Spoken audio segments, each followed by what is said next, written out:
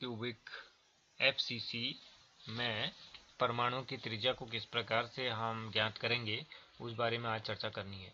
तो आप देखेंगे, ये हमारा जो है, एक एफसीसी है, एक घन है, और इसमें जो हमारे ये देख रहे हैं आप, ये परमाणु हैं, और ये परमाणु इसके आठ कोनों पर स्थित होते हैं, और एक जो है, इसके केंद्र पर, फलक के केंद्र पर उपस्थित होता है। यानी सारे फलकों पर एक एक परमाणु उपस्थित होगा। तो इस तरीके से आप देख रहे हैं, ये एक, इसका जो है एक डायगोनल बन रहा है तो इस डायगोनल में आपके तीन परमाणु इस तरह से लगे रहेंगे।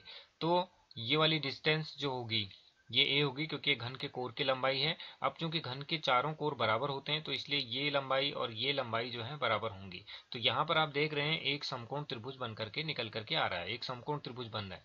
और ये कुछ इस तरह से दिखेगा, ये डिस्टेंस ए होगी, अर्थात ये वाली, और ये जो आपकी ए और बी वाली जो डिस्टेंस है, वो भी ए है। ये भी ए है, ये भी ए है। और ये वाली जो डिस्टेंस होगी, इस डिस्टेंस को आप देख रहे हैं, यानी हमारे पास ए बी डिस्टेंस ए है ए सी डिस्टेंस भी ए है। यानी ए सी डिस्टेंस भी ए है ए बी डिस्टेंस भी ए है। यानी ये दूरी भी ए है, यानी ये बराबर है दोनों।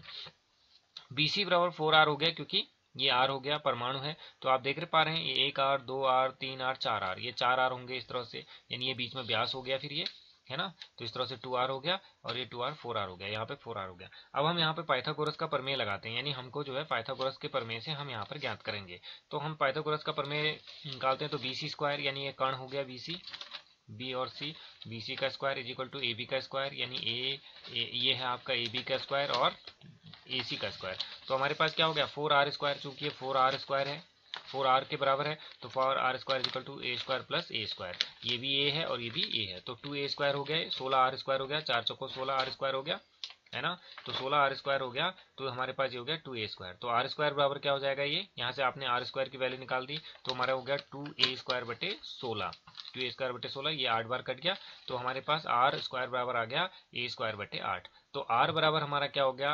ए बटे अंडर रूट टू यानी ये एट को हम क्या लिख सकते हैं? टू अंडर रूट टू लिख सकते हैं. इसको हम इस तरह से भी लिख सकते हैं under root two into A बट्टे चार. इस तरीके से भी इसको लिखा जा सकता है. तो एफसीसी में परमाणु एफसीसी में परमाणु की जो त्रिज्या होती है आर बराबर होती है कोर की लंबाई यानी A upon two under root two इस तरीके से आप इसको समझ सकते बहुत आसान है। बिल्कुल एक मैथ्स का फॉर्मूला इसमें लगना है। इस तरीके से हम इसको आ, कर सकते हैं टू अंडर रूट टू ये हमको याद रखना पड़ेगा। आर बराबर होता है कोर की लंबाई बट्टे टू अंडर रूट टू यानी इसको A upon two under root two भी लिखा जा सकता है।